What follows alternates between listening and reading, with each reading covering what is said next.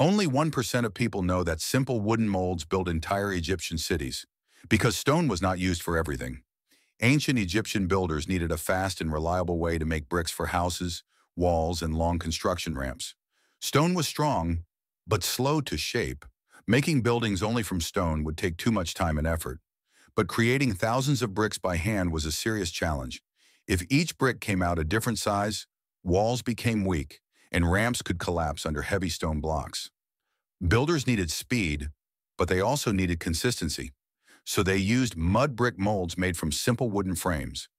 Workers filled these molds with Nile mud mixed with straw, then lifted the frame away. The bricks were left under the hot sun to dry. Each one came out the same size ready to stack and use. With mud brick molds, builders could produce thousands of uniform bricks. These bricks form worker villages, boundary walls, and massive ramps used to move heavy stones during construction. The mold did not work alone.